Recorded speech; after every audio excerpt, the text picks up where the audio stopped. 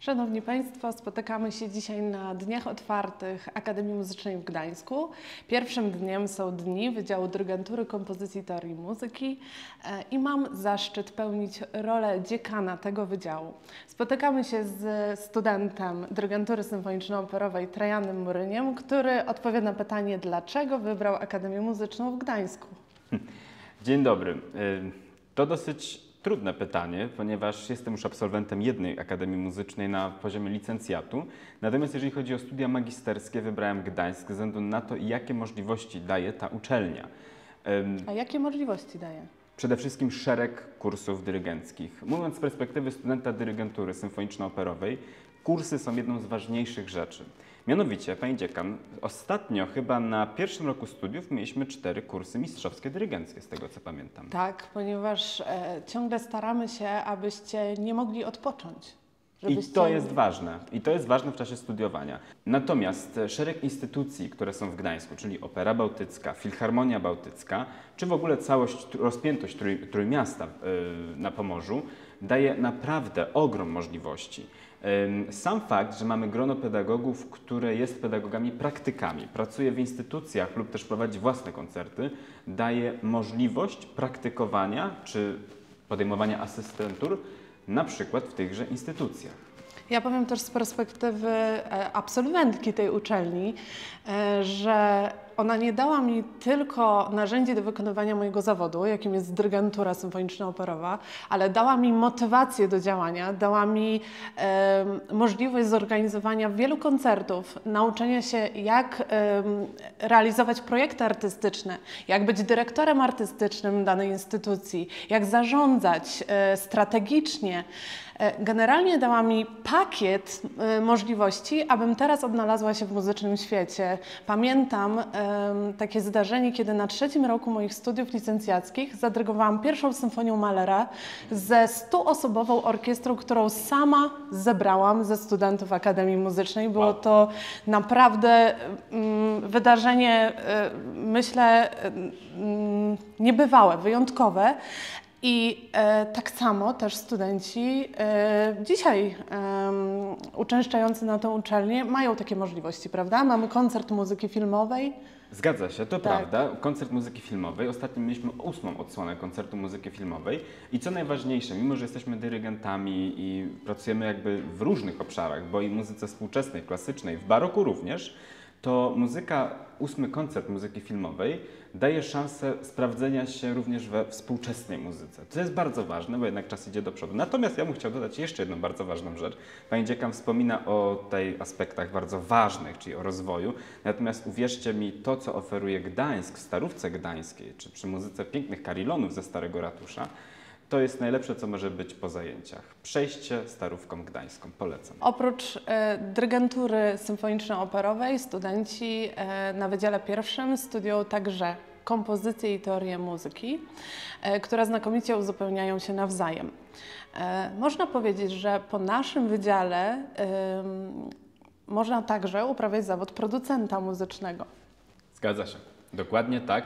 Mamy szereg studentów, ale i również pedagogów, całe szczęście, którzy potrafią nas w tym kierunku kształcić. Tak. Trudno wymienić chociaż jedno wspomnienie z Akademii Muzycznej w Gdańsku, które najbardziej utkwiło mi w pamięci czy, czy też w sercu. Natomiast na pewno takim e, jednym z nich e, był mój koncert dyplomowy, który prowadziłam w Filharmonii Sinfonia Baltica w Słupsku z profesjonalną orkiestrą, dyrygując symfonią em, Emol e, Dworzaka z Nowego Świata e, numer 9. E, Było to niesamowite doświadczenie, jeżeli chodzi o e, studenta dyrygentury. Jeszcze jedno mogę wspomnieć. Takim absolutnie wyjątkowym wydarzeniem e, również był konkurs Wittelberga, który przeżywałam podczas właśnie studiowania tutaj na ostatnim roku studiów. E, Uczelnia, pamiętam, dała mi wtedy bardzo duże wsparcie, e, dała mi możliwość praktykowania z orkiestrą przed konkursem. Em, Okazało się, że nie tylko moja pani profesor Elżbieta Wiesztort, ale także rektor, dziekan e, byli osobami, e, którym bardzo zależało na tym, e, bym dobrze wypadła na tym konkursie i tak się też stało, ponieważ przyjechałam z niego z trzema nagrodami. To na pewno wspominam bardzo dobrze. Natomiast teraz z mojego pedagogicznego życia najlepiej wspominam właściwie każde zajęcia ze studentami. Jest to moja niezwykła pasja i przekazywanie wiedzy, zarażanie jakimś takim e, dobrym podejściem do wykonywania e, zawodu muzyka e, jest czymś, co zajmuje mnie najbardziej na co dzień i co daje niezwykłą satysfakcję, ale też poczucie odpowiedzialności za młodego człowieka.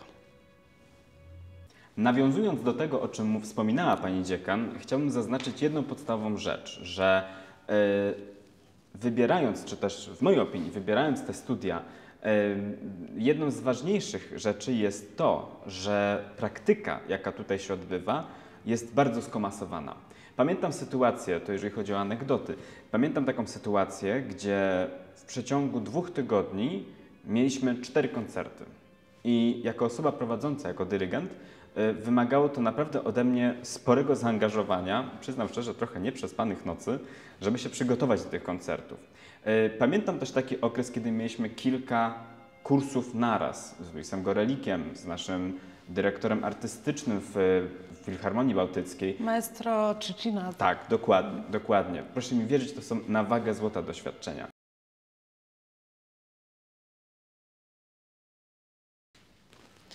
Przyszłość to e, termin, który powinien nas e, obchodzić najbardziej w AMUS. E, przyszłość to dostosowanie uczelni do aktualnych i przyszłych właśnie potrzeb na rynku muzycznym.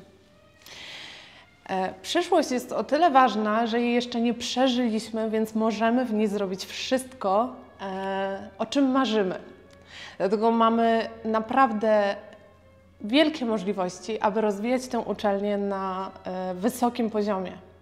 Ale co jest warunkiem do tego, aby zbudować tę uczelnię w dłuższej perspektywie? Myślę, że najbardziej współpraca międzywydziałowa. Współpraca międzywydziałowa to jest podstawa, do której dążymy, e, która jest coraz e, lepsza. Coraz więcej projektów udaje nam się zrealizować właśnie razem. I to jest to, o co w ogóle w świecie artystycznym e, chodzi. Zdecydowanie, współpraca jest rzeczą najważniejszą, tak. jeżeli chodzi o nas. E, jeżeli mógłbym powiedzieć coś troszeczkę o moich planach przyszłościowych, mhm. to myślę, że mogę śmiało powiedzieć, że jeżeli studiuję ten kierunek bardzo specyficzny, jakim jest dyrygentura, warto dokreślić, że symfoniczno-operowa, mm, no to ja się jednak przyznam szczerze nastawiam na jakieś kierownictwo, e, czy to orkiestrą, może instytucją, Zobaczymy. Tego Ci jak najbardziej życzę, bo Dziękuję. E, niewiele jest osób, które mają takie predyspozycje. To są wybrane jednostki. I właśnie w naszej Akademii Muzycznej e, takich młodych, e, zaangażowanych, zdeterminowanych ludzi kształcimy. Wydział Dyrygentury Kompozycji i Teorii Muzyki jest jednym z najbardziej wszechstronnych wydziałów w, w AMUS. E, kształcimy teoretyków muzyki, którzy mogą nie tylko uczyć, ale także występować na międzynarodowych konferencjach, którzy mogą e, również być recenzentami e, różnych wydarzeń muzycznych. Natomiast na specjalności kompozycja student może rozwijać się mm, wielorako. Tworzy kompozycje autonomiczne, tworzy y, kompozycje z muzyki filmowej, teatralnej, elektronicznej. E, ostatnio też wprowadzamy muzykę do gier komputerowych, e, a także do reklam.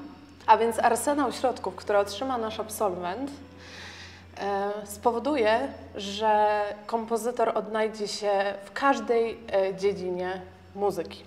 Słuchajcie, przyszli studenci. Zapraszamy do AMUS Gdańsk. Najlepsza atmosfera i najlepsi pedagodzy. Teoria muzyki, kompozycja, dyrygentura symfoniczno-operowa.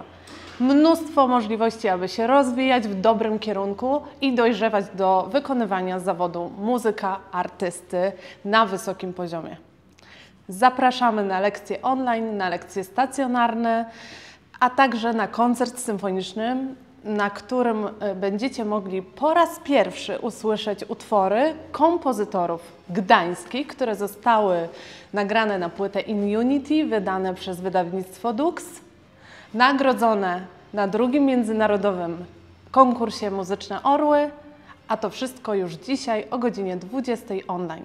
Zapraszamy. Miłego dnia!